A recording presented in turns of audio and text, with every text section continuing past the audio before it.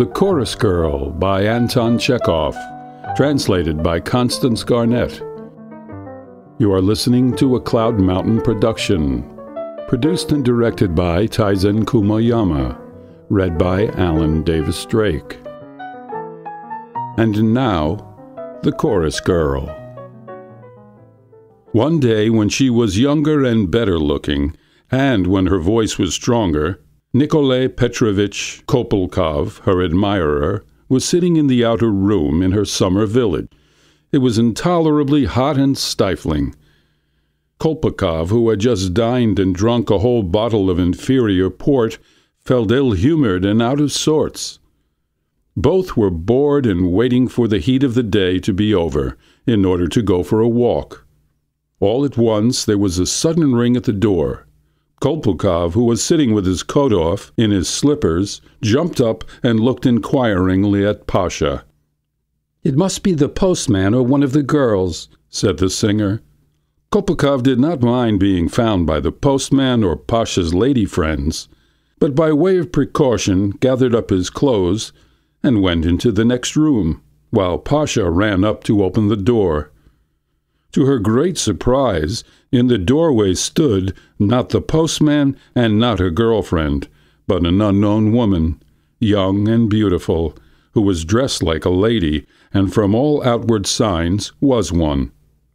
The stranger was pale and was breathing heavily, as though she had been running up a steep flight of stairs.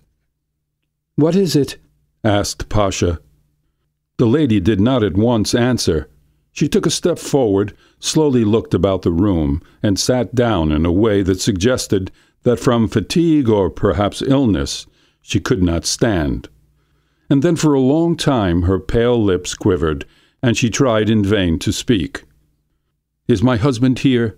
she asked at last, raising to Pasha her big eyes and their red tear-stained lids. "Husband?" whispered Pasha and was suddenly so frightened that her hands and her feet turned cold. What husband? she repeated, beginning to tremble. My husband, Nikolay Petrovitch Kolpakov. Mm, no, madam, I, I, I don't know any husband. A minute passed in silence.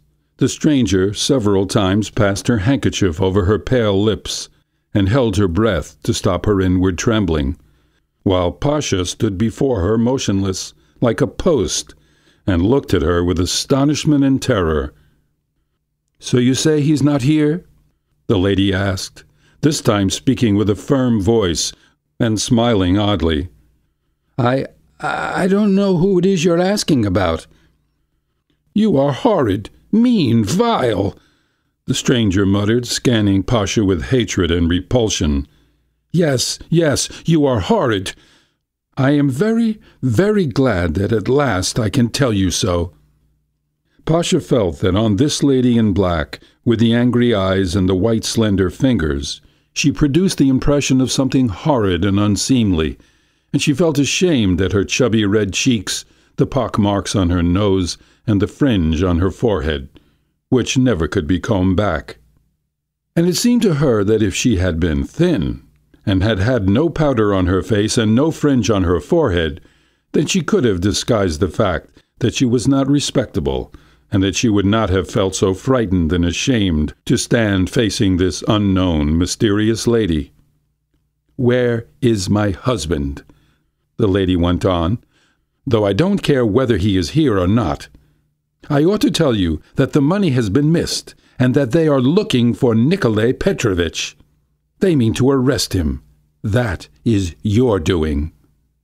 The lady got up and walked about the room in great excitement. Pasha looked at her and was so frightened that she could not understand.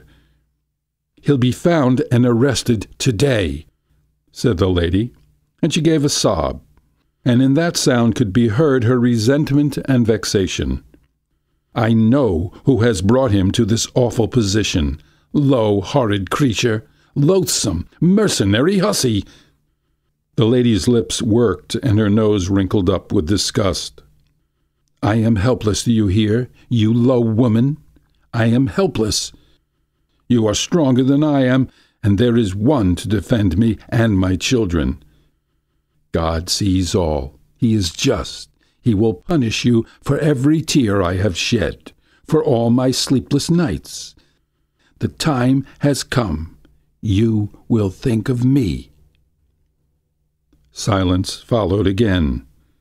The lady walked about the room and wrung her hands, while Sasha gazed blankly at her in amazement, not understanding and expecting something terrible. I know nothing about this, madam, she said, and suddenly burst into tears. You are lying, cried the lady, and her eyes flashed angrily at her. I know all about it. I've known you a long time. I know that for the last month he has been spending every day with you. Yes? What then? What of it? I have a great many visitors, but I don't force anyone to come. He is free to do as he likes. I tell you that they have discovered the money is missing. He has embezzled money at the office. For the sake of such a, a creature as you, for your sake, he has actually committed a crime. Listen, said the lady in a resolute voice, stopping short, facing Pasha. You can have no principles. You live simply to do harm. That's your object. But one can't imagine you have fallen so low that you have no trace of human feeling left. He has a wife, children. If he is condemned and is sent into exile, we shall starve, the children and I. Understand that? And yet there is a chance of saving him and us from destitution and disgrace. If I take them 900 roubles today, they will let him alone. Only 900 roubles. What 900 roubles? Pasha asked softly. I. I don't know. I haven't taken it. I am not asking you for 900 roubles.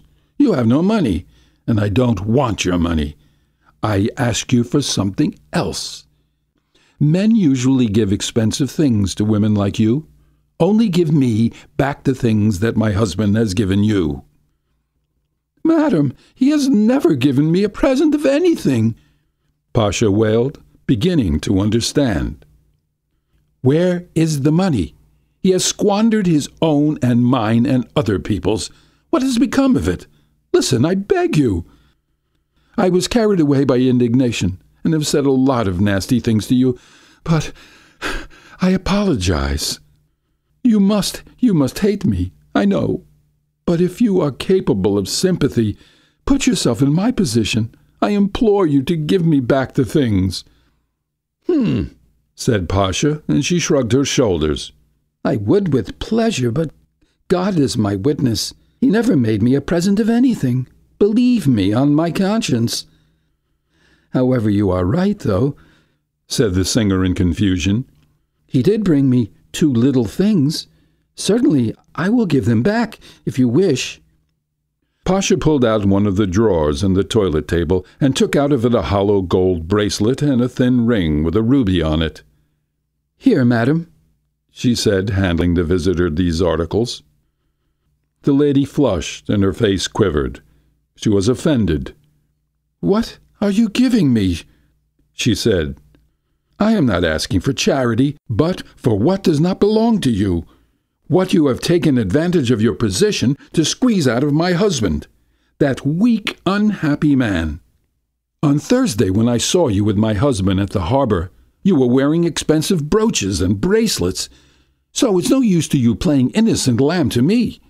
I ask you for the last time. Will you give me the things or not? You are a very queer one, upon my word said Pasha, beginning to feel offended. I assure you that, except for the bracelet and this little ring, I've never seen a thing from your Nikolay Petrovitch. He brings me nothing but sweet cakes. Sweet cakes? laughed the stranger. At home the children have nothing to eat, and here you have sweet cakes? You absolutely refuse to restore the presents? Receiving no answer, the lady sat down and stared into space, pondering. What's to be done now? she said. If I don't get 900 roubles, He is ruined, and the children and I are ruined too. Shall I kill this low woman or go down on my knees to her? The lady pressed her handkerchief to her face and broke into sobs. I, I beg you, Pasha heard through the stranger's sobs. I beg you, Pasha heard through the stranger's sobs. You see, you have plundered and ruined my husband. Save him. You have no feeling for him. But the children, the children, what have the children done? Pasha imagined little children standing in the street, crying with hunger, and she too sobbed. What can I do, madam? she said. You say that I am a low woman, and that I have ruined Nikolay Petrovitch, and I assure you, before God Almighty, I have nothing from him whatever. There is only one girl in the chorus who has a rich admirer. All the rest of us live from hand to mouth on bread and kvass. Nikolay Petrovitch is a highly educated, refined gentleman, so I've made him welcome. We are bound to make gentlemen welcomed. I ask you for the things. Give me the things. I am crying. I am humiliating myself. If you like, I will go down on my knees, if you wish it. Pasha shrieked with horror and waved her hands. She felt that this pale, beautiful lady who expressed herself so grandly, as though she were on the stage, really might go down on her knees to her, simply from pride, from grandeur, to exalt herself and humiliate the chorus girl. Very well, I will give you things, said Pasha, wiping her eyes and bustling about.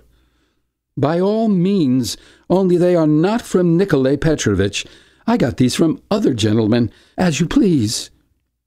Pasha pulled out the upper drawer of the chest, took out a diamond brooch, a coral necklace, some rings and bracelets, and gave them all to the lady.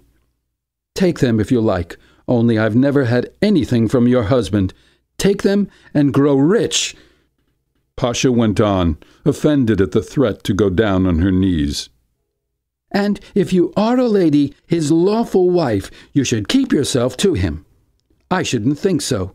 I didn't ask him to come. He came of himself. Through her tears, the lady scrutinized the articles given to her and said, This isn't everything. There wouldn't be five hundred roubles worth here. Pasha impulsively flung out of the chest a gold watch, a cigar case and studs, and said, flinging up her hands, I've nothing else left. You can search. The visitor gave a sigh, with trembling hands twisted the things up in her handkerchief and went out without uttering a word, without even nodding her head. The door from the next room opened, and Kolpakov walked in. He was pale and kept shaking his head nervously, as though he had swallowed something very bitter. Tears were glistening in his eyes. What presents did you make me? Pasha asked, pouncing upon him. When did you? Allow me to ask you. Presents? That's no matter, said Kolpakov, and he tossed his head. My God, she cried before you. She humbled herself. I am asking you, what presents did you make me? Pasha cried. My God, she, a lady so proud, so pure. She was ready to go down on her knees to, to this wench. And I've brought her to this. I've allowed it. He clutched his head in his hands and moaned. No, no, I shall never forgive myself for this. I shall never forgive myself. Get away from me, you low creature, he cried with repulsion, backing away from Pasha and thrusting her off with trembling hands. She would have gone down on her knees, and... and to you! Oh, my God! He rapidly dressed and pushing Pasha aside contemptuously, made for the door and went out. Pasha lay down and began wailing aloud. She was already regretting her things which she had given away so impulsively, and her feelings were hurt. She remembered how, three years ago, a merchant had beaten her for no sort of reason, and she wailed more loudly than ever.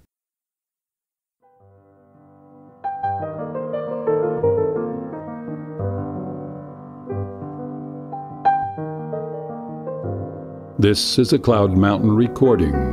Read by Alan Davis Drake. All rights reserved.